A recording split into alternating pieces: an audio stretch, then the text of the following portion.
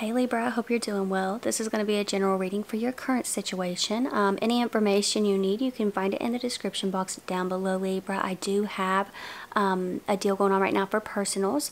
It is a same day special. It's three questions plus a general message. It's 44.44. You get it within 24 hours. It is a video reading. Um, it does close though today, June 19th at 3 p.m. Eastern time. So details are down below if you're interested. We're going to go ahead and begin here and see what we've got for you. This is for Libra. I wanted to call you Scorpio. That was weird. Okay. We have the Seven of Wands energy showing up right here. Seven of Wands can sometimes show up as a blockage, Libra. Um,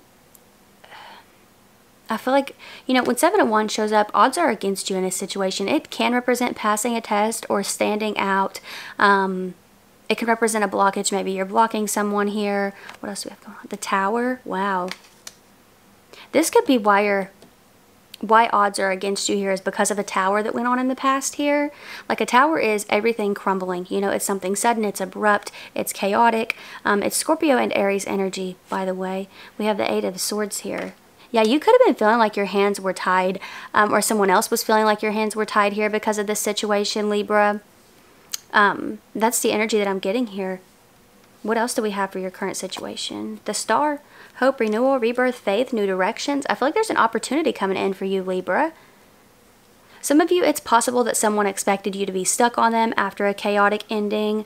Um, it's possible that maybe someone blocked you and they're like, haha, you know, I bet Libra's still thinking about me. Libra, I feel like there's a new opportunity coming in or your wishes are being fulfilled. I feel like you're healing from this, you're moving on from this.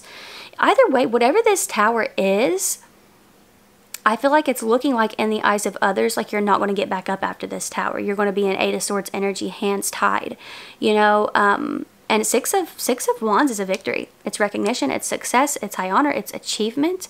I feel like your current situation is coming to an unlikely conclusion, which is you being victorious. Justice showing up here. Sometimes it can represent something legal, but it just represents something fair and just in general. And yeah, you have every right to move on. I don't know what this person, if this is a person that you were dealing with, feels like, you know, they were doing by wishing that you weren't moving on. Like, what were they gaining from that? You know, it's very weird energy that you were dealing with here. Some of you could be moving on to uh, a fellow air sign, Gemini, Libra, or Aquarius, but I do feel like you're getting victory in a situation. I feel like you're healing, you're moving on. There are new opportunities, wishes are being fulfilled, and there could be people who are like shocked by the fact that you got up and, you know, you restarted after this. And good for you, Libra. I love to see this for you. I hope that this was helpful uh, or fun or whatever you needed it to be.